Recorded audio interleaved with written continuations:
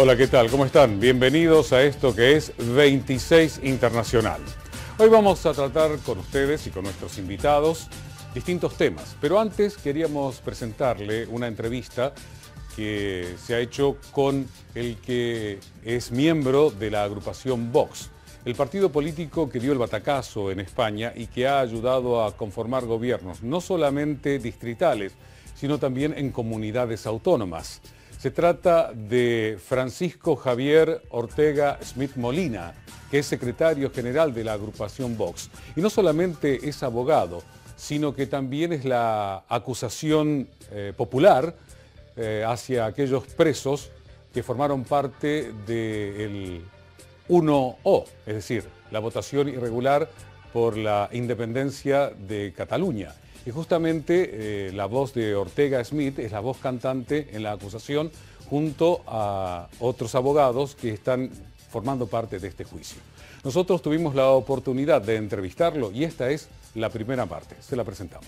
Sí. Bueno, yo sé que en Argentina, que es mi segunda patria, porque sabéis que tengo nacionalidad española y argentina, pues ha llegado ese mar de fondo de la, de la manipulación de los medios de comunicación que nos han querido tachar desde que nacimos hace, hace cinco años, somos un partido muy joven, nos han querido tachar de todo, por defender la unidad de España, fascistas, ultraderechistas, violentos, por decir que las fronteras tienen que ser seguras, racistas, xenófobos, por decir que no creemos en los lobbies de la ideología de género, que si somos homófobos, machistas, en fin, es todo mentira, son las técnicas de la manipulación política. Nosotros somos el único partido que está defendiendo la Constitución, que está defendiendo el ordenamiento constitucional. Es más, que gracias a nosotros se ha parado un golpe de Estado en Cataluña, gracias a nuestras acciones judiciales iniciadas justo hace dos años y que mañana terminan con nuestra actuación como, como informe final. Así que eh, lo que podemos decir es que somos un partido que ha nacido porque estamos cansados de la corrupción de los partidos políticos institucionales, de los que viven de los presupuestos y un puñado de españoles hace cinco años éramos solo 25, hoy somos cerca de 60.000 afiliados, decidimos crear nuestro propio partido para defender simplemente lo que nadie defendía. Javier, como, como uno de los representantes máximos de Vox, eh, haciendo un paralelismo con la Argentina, usted escuchaba recién decir de todo lo que lo acusan, cuando asumió Cambiemos, que justamente en la Argentina hay elecciones en agosto y en octubre presidenciales, eh, los acusaban de lo mismo, la derecha neoliberal, ¿cómo hacen para sacarse eso corset que le imponen desde afuera? Bueno, la verdad es que eh, podíamos tomar dos actitudes. Una, dedicar nuestro tiempo a rebatir las mentiras. Segundo, que es la que hemos optado por trabajar y que vean en nuestros actos y en nuestro ejemplo, en nuestros discursos, quiénes somos realmente.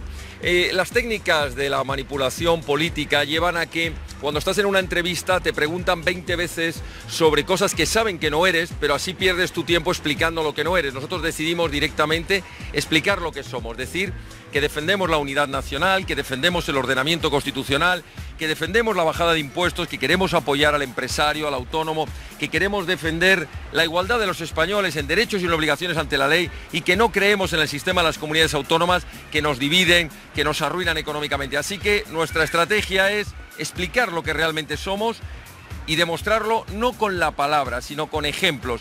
Ya estamos en el Congreso de los Diputados, llevamos escasamente unas semanas y todas las iniciativas que hemos puesto son precisamente en esta línea. Defensa de la legalidad, apoyo al ordenamiento constitucional. Tenemos una segunda parte de esta entrevista, se la vamos a presentar en esta edición de 26 Internacional. Pero tenemos otros temas, por ejemplo, la crisis de los petroleros, la actitud que está teniendo Estados Unidos con Irán, el programa nuclear de Irán, la postura que tuvo en Kirguistán el presidente chino, diciendo, bueno, nadie quiere una guerra. Lo que dijo Macron en Ginebra, en Suiza, hace unos días atrás, que existe el peligro de una guerra, porque están en peligro las sociedades democráticas.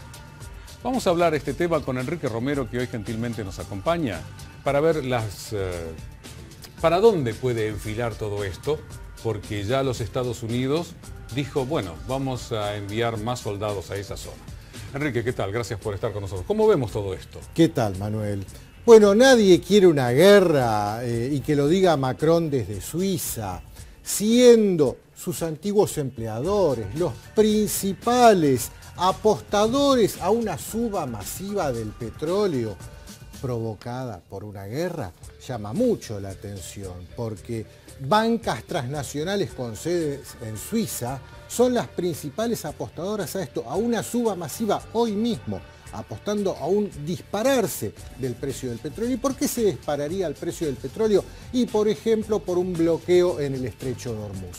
Un bloqueo en el estrecho de Hormuz inmediatamente impediría que todo el petróleo de Arabia Saudita, Emiratos Árabes, Kuwait, Qatar, saliera a sus destinos en todo Occidente. Y eso obviamente provocaría una alza terrible, inmediata en los precios del petróleo y muchos de estos chicos que les gusta hacer apuestas de casino en el sistema financiero internacional están en esa opción que llaman eh, call, que es a la suba, de una opción de futuro, mm. y están negociando eso. Y sería terrible si esa guerra no se diera, porque perderían fortunas como si esa guerra no se diera. Si esa guerra no se diera. ¿Que se tiene que dar? Y la apuesta que han hecho ellos es a que la guerra se dé.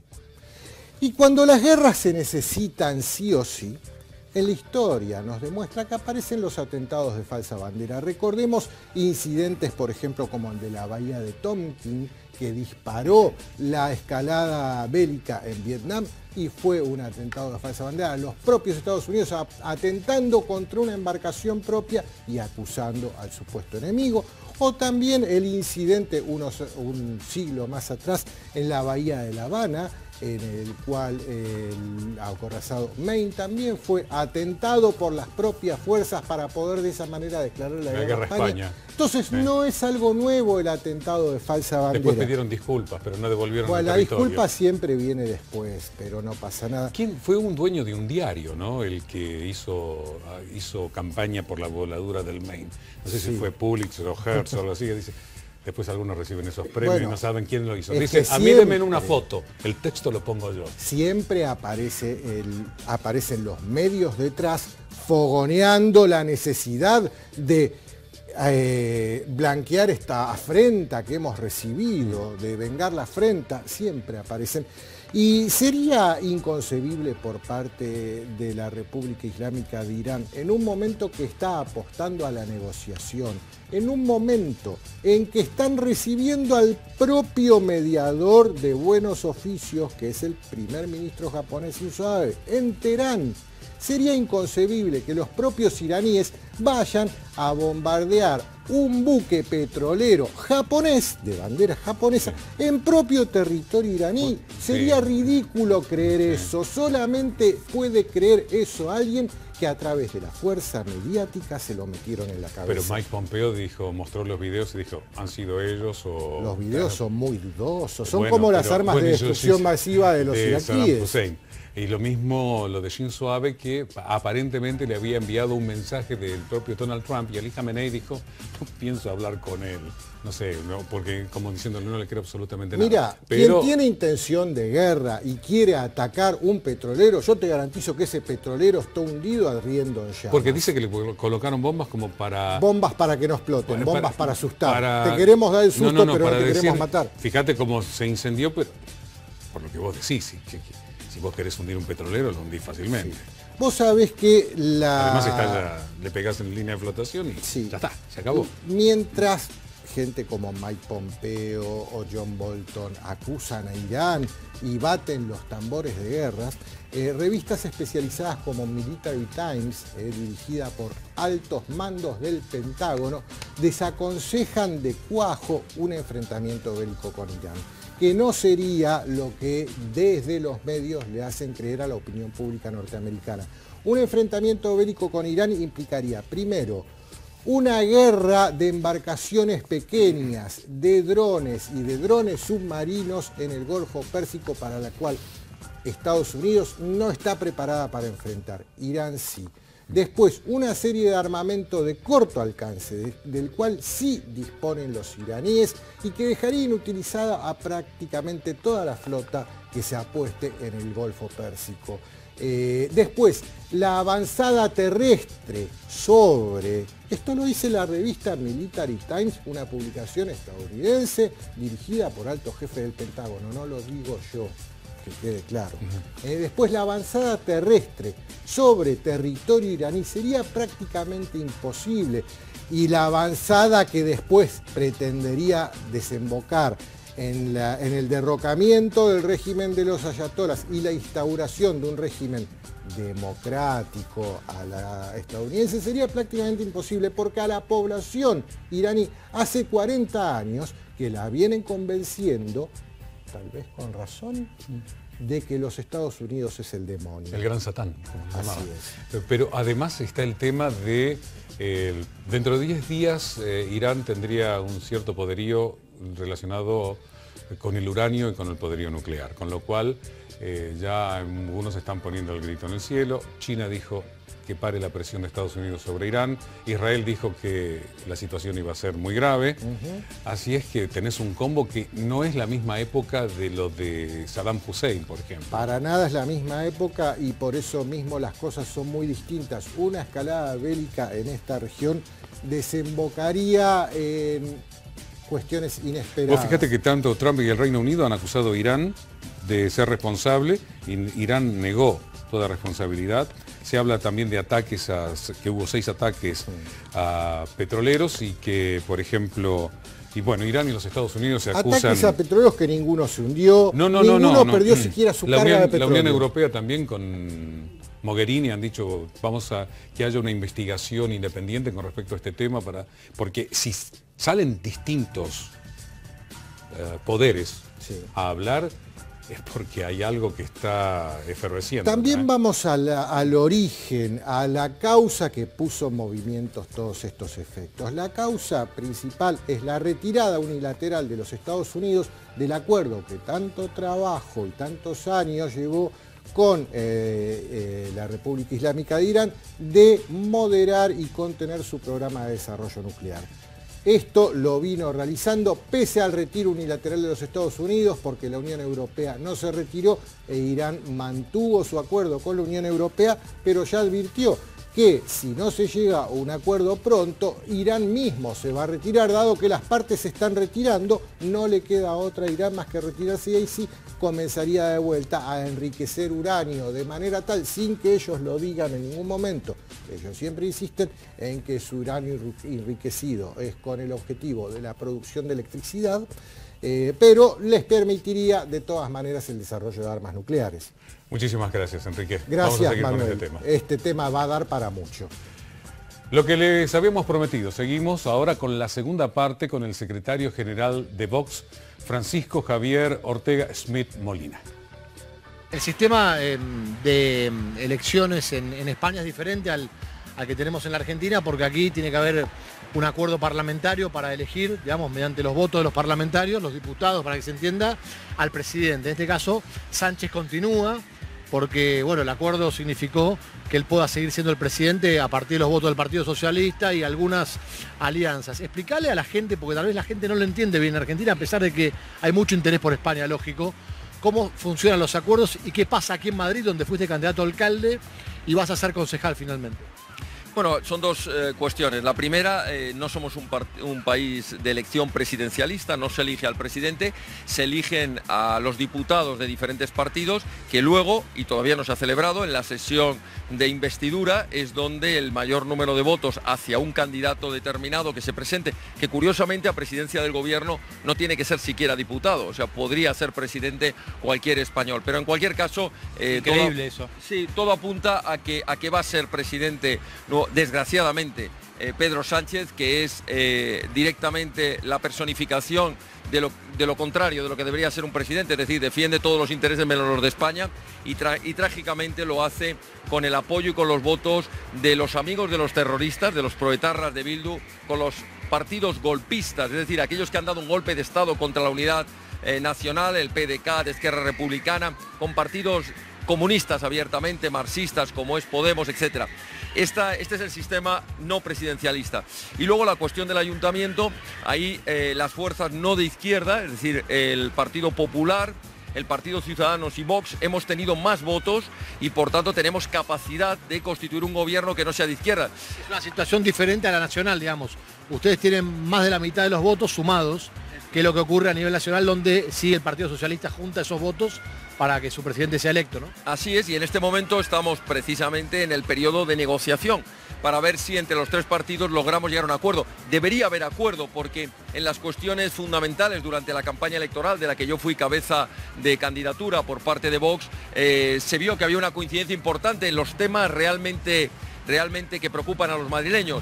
Si no se llega a un acuerdo no va a ser por parte de Vox, eh, sino porque a veces desgraciadamente los intereses de los partidos parece que son más importantes que los intereses de los ciudadanos. Nosotros estamos en plena negociación, vamos a hacer lo imposible porque lo que no puede permitirse Madrid es otros cuatro años de gobiernos de la izquierda que han abandonado las calles, que están sucias, que han abandonado la seguridad en nuestras calles, que han permitido la corrupción, que han permitido el pago a los chiringuitos, a, quienes viven de la política. En fin, confío en que podamos dentro de unos pocos días celebrar que el Ayuntamiento de Madrid, la capital de España, eh, ha salido de, las, de los tentáculos de la izquierda más radical.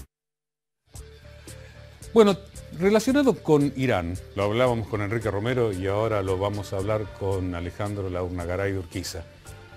Porque Irán está, dicen, de, lo, de alguna agrupación que está extendiendo sus tentáculos por Sudamérica. Y algunos dicen que hasta estaría a las puertas de los Estados Unidos por sus contactos con los Zetas eh, o el cartel de Sinaloa y que son ciertos, entre comillas, empresarios relacionados con el narcotráfico los que le dan cierto apoyo. Irán detrás de lo que sería Hezbollah. Irán detrás de lo que sería el ataque a los petroleros. Y le pregunto a Alejandro, ¿qué hay de cierto? Bueno, a ver, el tema de Hezbollah, Manuel, hay que tratarlo con mucho cuidado porque hay una carga histórica, emotiva. Recordemos que Hezbollah está, está acusada, varían las pruebas y la comprobación de esas pruebas de los atentados en, en Argentina en los años 90. Y también se mezcla aquí el interés geopolítico de Estados Unidos, de Israel en la región, con lo cual hay algunas cosas sobre Hezbollah en América Latina que pueden ser ciertas y hay otras que no. O sea, hay algunos informes de inteligencia norteamericanos que pueden tener alguna cuestión que sea real y otra de exageración o sobredimensión de la cuestión para que se genere, para que se genere un temor y además no nos olvidemos que en la zona de la triple frontera, que es donde mm. más se habla de la presencia... se habló de eso. Detrás está también los que eh, se oponen a esta visión de que Hezbollah está eh, planificando atentados terroristas en la región, etcétera, etcétera, que bueno, que el verdadero interés de Estados Unidos ahí es el acuífero guaraní, que son, es el 26% de las reservas de agua dulce del mundo, con lo cual si hablamos de Hezbollah en Venezuela o en la triple frontera, estamos hablando de la primera reserva de petróleo y la primera reserva de agua dulce de la región. Qué casualidad, porque también dijeron que Hezbollah se había anotado como partido político en un lugar de Perú, donde hay una cantidad importante de gente que profesa la religión musulmana, eh, pero sobre todo se hacía mucho hincapié en lo que es eh, la triple frontera y lo que es Venezuela con el entrenamiento o distintas bases de entrenamiento. Bueno, lo que pasa es que Ahmadinejad se lleva muy bien con Chávez también, ¿no? Bueno, y los iraníes también dicen que están ahí. Pero sí, a ver, a ver, hay algo tengamos en cuenta algo, porque acá, claro, Argentina que hay algo que mucho... Se está armando que es terrible. Ya te lo dije la otra vez. Hay unos tambores que están sonando. acá Manuel llega Hezbollah terrorismo, pero a ver, expliquemos un poquito, brevemente y bien claro.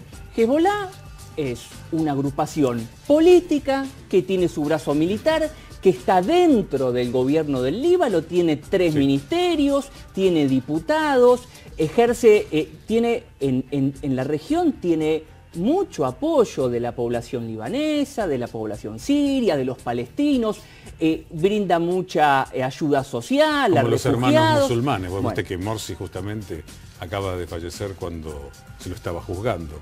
Y los hermanos musulmanes tienen una impronta muy grande en la población, justamente por lo que vos señalás, ¿no? Lo que es la acción social. Exactamente, el presidente del Líbano dijo que Hezbollah forma parte de, la nación libanesa, que están incluidos, pero bueno, su brazo armado, que es, a ver, por un lado, Hezbollah es considerado terrorista, la agrupación, tanto política como su brazo armado, por Estados Unidos, por Israel, por Francia, por Reino Unido, Canadá y un par de países más.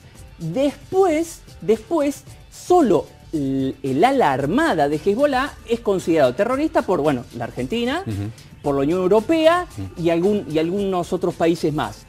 Pero en general está considerado para el derecho internacional, es una agrupación política que tiene su brazo armado, que ha luchado, se ha formado en la guerra civil del Líbano. Y tengamos en cuenta algo, Manuel, en la Argentina hay más de 3 millones de habitantes de origen libanés. Y la comunidad sirio-libanesa es muy grande, muy importante. Entonces, acá lo que hay que, lo que, hay que desarmar un poco, porque a ver, que operan, eh, eh, a ver, en la triple frontera es multicultural, que hay gente de Hezbollah que fue detenida por... Eh, sí, es verdad. bueno, por actividad ilegal en la triple frontera. Es la mayor parte de la actividad económica tanto de productos lícitos como productos ilícitos, es ilegal, que hay narcotráfico, hay narcotráfico, que hay trata de personas, hay trata de personas, que hay tráfico de armas, lo hay, y lo ejercen distintos grupos delincuenciales, y uno de ellos puede ser Hezbollah, han detenido a uno, pero, pero la noción y el convencimiento de que es un grupo terrorista que quiere ganar influencia en la región, me parece que es un poquito, si no muy, exagerado por los intereses de los nuevos vientos eh, que soplan en América Latina, alineándose los gobiernos a la geopolítica norteamericana, que hoy, eh, a ver, avivan, avivan ese fuego y ese temor al terrorismo islámico y a estos grupos que bueno, que en la región, que en la región combatieron en Siria junto al gobierno de Bashar al-Assad, que ejercen eh, una un contrapeso al, avance israelí también en la región y que están en continuo combate con Israel y que bueno, en la misma región han bajado un poco el tono. Hace unas décadas, eh, querían formar en el Líbano una república islámica, después eh, ya por la década del 2000. La tradición libanesa que se tuvo desde siempre. Exactamente. El presidente cristiano, primer ministro musulmán. Exactamente. Bajaron un tono con eso y ya en, la década del 2000 dijeron, bueno, listo, aceptamos la, el, multiculturalismo. pero siempre fue así. Y se comenzaron a integrar. ¿Que son socios de Irán? Son socios, de, Irán, que Irán. los entrenó y los formó, es cierto, que han cometido atentados contra Estados Unidos, eh, y Francia eh, dentro del Líbano, ¿cierto? Que fueron acusados y que se han probado atentados fuera del Líbano, también este, puede ser cierto, pero que estén eh, extendiéndose en la región, me parece, uno no tiene ni la bola de cristal, pero me parece un poco exagerado, pero tiene que ver con estos nuevos vientos que soplan, como te decía recién, de los intereses norteamericanos. Hablando de nuevos vientos, que bien decís y te lo decía también Enrique, es el tema de la situación que se está viviendo en el estrecho de Hormuz y lo que dijo Mike Pompeo relacionado con estos viejos temores que tenemos en lugares nuevos como son nuestros territorios, nuestros países. Dice, hay células dormidas y si Estados Unidos llegara a atacar, esas se despertarían y no sabríamos qué pasaría. Dice que tienen datos. Es que lo que la historia demuestra es que Estados Unidos...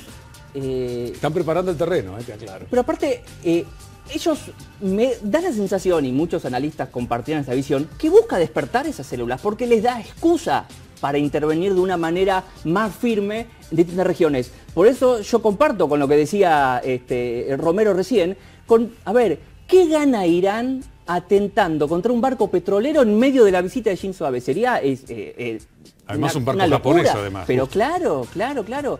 Eh, a ver, me parece algo ilógico. Y lo de las células dormidas, a ver, siempre, siempre, se usó y muchas veces, muchas veces son excusas para una mayor intervención. A ver, Estados Unidos está presionando a los países de América Latina para que declaren a todo lo que representa Hezbollah, inclusive el, brazo político que está dentro del gobierno, que lo declaren también como grupo terrorista, lo que los países de la región se han negado, ¿no? Porque en el grupo ese del, de la triple frontera, este, Paraguay, Argentina y Brasil en investigación junto con Estados Unidos, no han encontrado, los países de, acá de América del Sur, no han encontrado pruebas fehacientes que digan que bueno que Hezbollah está o, preparando células terroristas en la región o ganando mayor influencia en ese sentido, ¿no? En el sentido del terrorismo, no han encontrado pruebas. Entonces se niegan, se niegan a bueno a declararlo como grupo terrorista en su totalidad, ¿no? Muchas gracias, Alejandro. Por favor, gracias por habernos acompañado. Y a ustedes también, gracias por habernos acompañado en esta edición de 26 Internacional. Como siempre les decimos, esperamos haber servido. Hasta nuestro próximo encuentro.